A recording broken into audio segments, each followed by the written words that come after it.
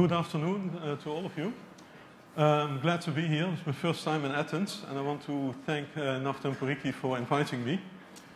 Um, as a matter of fact, I also have to apologize. I'm not wearing my suit today because uh, KLM, the Dutch airline, is, uh, is taking care of it.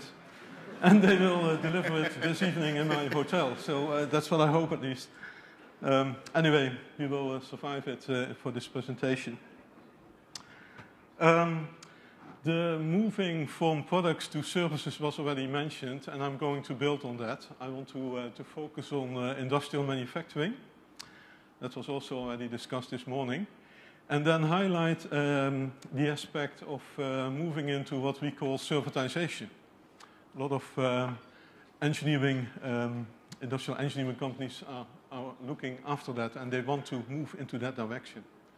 And the topic of smart manufacturing and Industry 4.0 in Germany is uh, perfectly uh, suitable for that. That's what I will try to show you.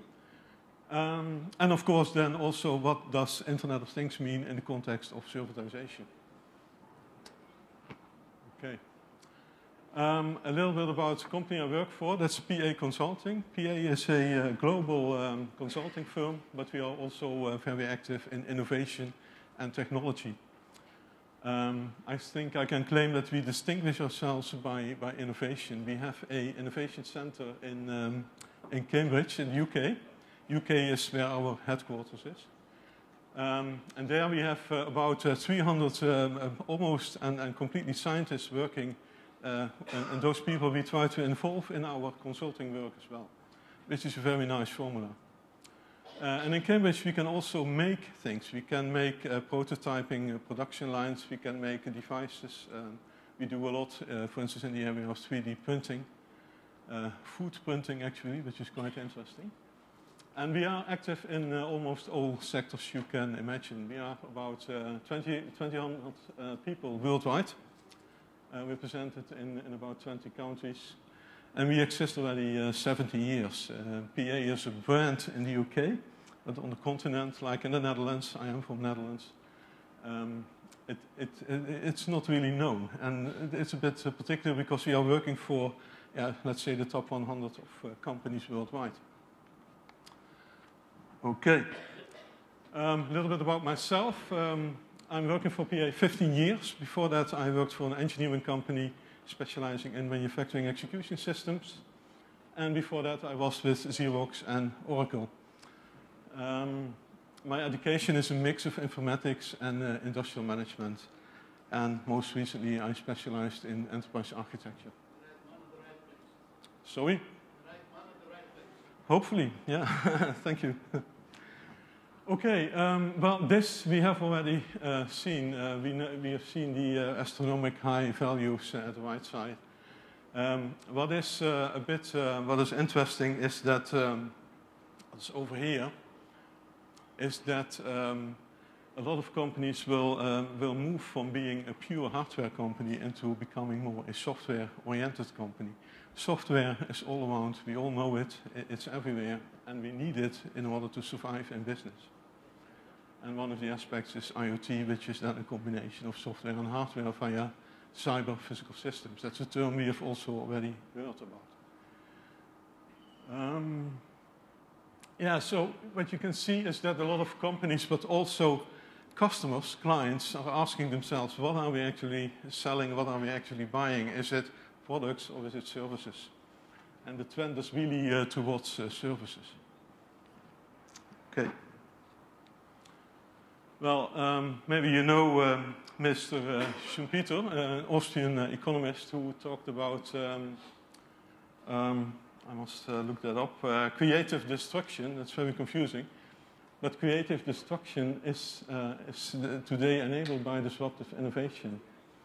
And that's really what's happening. And it's an effect from technology push. We have a lot of enabling technology, but we also need to find out what we can do with it. We need to find useful applications for all that technology. And for a lot of companies, that's a big search which is actually going on. Um, and then there is the market pool. Um, we, we, know that customers and clients and, and consumers or business-to-business -business customers are getting more critical. Their demand is higher. They want individualized products. They want to go to the quantity of one. They want something unique. They want good quality and they want it against uh, a cheap price. And that's a, tough challenge for companies to meet all that uh, demand and also to connect to that demand uh, what technology is capable of doing. So, and that together is innovation. And innovation means that you need to do something completely different. So it's really talking about new business models and finding new opportunities for you for, for doing business. Also, what we know is the, for Mr. Christensen, the innovator's dilemma. A lot of companies are just stuck in their old way of doing business. They have their, uh, the S-shape of uh, the product life cycle. And they, um, they also um, want to, uh, huh, it's a kind of cash cow, and they are just investing and making that more advanced. But somehow, how, and sometimes that has to be stopped. Somebody next needs to take a decision. We stop the old-fashioned way of doing business and we want to move into something completely new. That's what needs to happen. And I think in specific for Greece, uh, there, there is, uh, at this moment, uh, the, the timing is right. There is a good opportunity to pick this topic up and to do more with it. Okay, um, I have um, I promised to, to show the link into Industry 4.0 or smart manufacturing. I borrowed um, a picture of, uh, of Professor Scheer from uh, IDS Scheer. He is using this already uh, 20, uh, 25 years or so. But it's quite, uh, it's a quite good summary of what is going on in the, in the production industry. Um, at the left side, we have uh, the, the, external world where we have uh, the order intake, but also outgoing orders to, uh, to vendors. And what you see there is uh, that supply chain and demand networks are becoming completely transparent due to all the tracking and tracing. A lot of data can be gathered, and there, again, the question is raised, what can you do with all that data, and what kind of decision model do we need to make in order to process that data? That's what's happening in, in this area. What you also see is that, uh, that uh, the customer journey, um, customers are using uh, these days uh, multiple channel ch channels to access a company. And also companies themselves are using multiple channels. Um, at the right side here is the, the product. I told you already the product is going to be a one-off. We have seen already that mass um, production is out. It's now mass customization. But it's even personalized. You can specify your own product and they will make it uh, according to your personal requirements. And that's quite challenging for the, um, for the production environment which is uh, depicted here. Um, the production uh, environment becomes a so-called digital factory. Also internally, in-house, on the shop floor, you can have all those sensors and actuators and you can almost real-time um, monitor the status of your production and also um, improve the production. And you can, you can uh, collect data out of your production, analyze it, optimize it, and then feed it back to production. So it's a closed loop. And it can ha be happening on a real-time, almost real-time basis. And that offers a lot of uh, very interesting uh, opportunities. That's why we talk about the, the real-time or smart uh, factory. But also the products become uh, smart. the products uh, can be uh, with radio frequency identification, tracking and tracing of products through the shop floor and also products finding their own way and indi indicating which kind of treatment, which kind of operations they need to get in the production. That's all already possible and, uh, and specific in Germany when you have uh, the, the Hannover Messe or the CeBIT, they, they have shown already uh, a lot of examples where that is just reality. So it is all possible. Okay, um, when it comes to, uh, to implementing, uh, there are different scenarios. And also this one I borrowed from Professor Scheer because I think it's a very clear picture. But I have to explain it quickly, I think. Um, it's, it, on this axis is uh, the, the amount of investment that is needed, varying from a zero low investment to a very high investment. And on the y-axis is the, the how close can you come to the ambition of smart manufacturing, smart products, or Industry 4.0? And there are several scenarios possible. Uh, the first one we call, uh, it's from INSEAD, it's the Blue Ocean Strategy. It's a famous um, subject.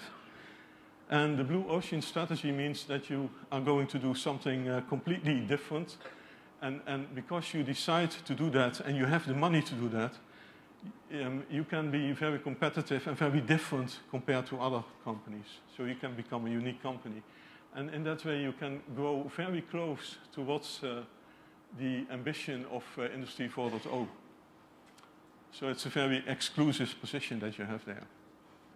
Um, the other uh, possibilities are that you just uh, start by um, solving uh, known problems by using new technology. That happens a lot in experiments and prototyping and trials. Um, what you can also do is um, just say, uh, well, I'm not going to change everything. I just um, I, I take a certain area in my business and I'm going to experiment there. And then is that is where you build factory islands with uh, cyber physical systems. Same applies uh, to the logistics uh, where you can uh, use tracking and tracing on the shop floor. And you don't have to do it full speed and, and full scope at one time. You can start small as long as you have a strategy and you know what you are aiming for. And here the yellow ones, or the orange, they are more about services. Once you have uh, tried all of the blue ones, uh, and you have, uh, your experience has been growing, then you can uh, start to uh, advise other companies how to do it. So you can go into consulting, and that means that you move from a production company into a consulting company. And the famous example is Porsche in, in Germany. They are doing that. They are selling cars, but they also they have a consultancy business as well. Um, you can also um, add services to your products. That's a servitization which, which I will detail out later. Five minutes. and you can also say, I, I, I, uh, a company and I, I build, own, and operate what I'm delivering. For instance, I told you I used to work for Xerox. We made uh, years ago those famous copiers but Xerox is now also um, um, um, looking to the output of those copiers. They take over uh, for, from a big com company the, the whole in-house copy shop. They take care of the paper, the consumables, etc., etc. And the third step is that they look to the outcome of all of that, and they also advise consultancy around document management and workflow management. So that's what's happening to those uh, manufacturing companies.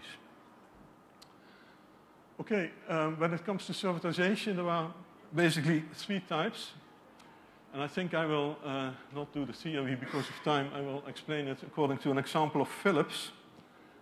Um, on this axis the, is the market view, and here is the offering, the producer uh, view. And um, there are three categories here. You can buy products, you can buy output, or you can buy outcome. And also, when you are offering in the market, you can, you can sell products, you can sell output, or you can sell outcome. What you see uh, these days at Philips is that they, uh, specific in healthcare, where they tend to specialize on uh, today, they uh, started with the products like um, um, uh, scanning, uh, scan, scanning devices to, to monitor your health. And now they also are looking to the output of that, the images that come out.